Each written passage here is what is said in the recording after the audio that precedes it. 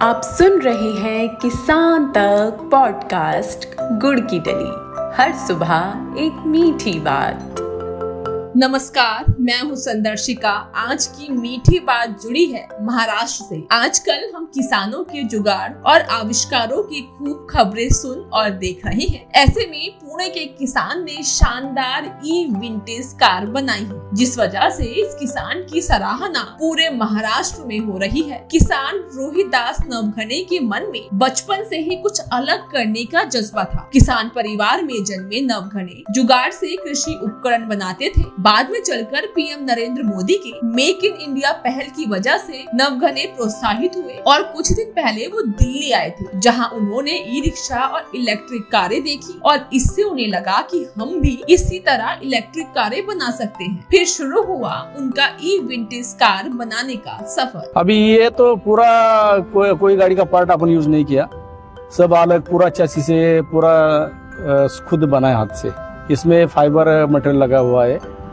और मेटल का पतरा वगैरह इसमें यूज़ किया है। ये गाड़ी बनाने को मेरे को कम से कम ढाई तो तीन महीना लगा है। कितने किलोमीटर चलती है और कितना घंटा चार्जिंग करना पड़ता ये गाड़ी कम से कम सौ किलोमीटर तो चलती है। और इसको चार्जिंग करने में पाँच तो छः घंटा लगता है। लेकिन विंटेज कार ही क्यों बनाई आपको क्यों लगा कि यही कार बनानी अभी हर एक किसान का सपना रहता है कि कोई अपने घर में अपने को भी एक खुद का फोर व्हीलर चाहिए कार चाहिए। तो अपने पास तो उतना खरीदने को पैसा नहीं था। तो और बाज़ार में तो इतने बड़े बड़े मार्केट में कार आई है, वो तो बहुत उसका प्राइस ज़्यादा है।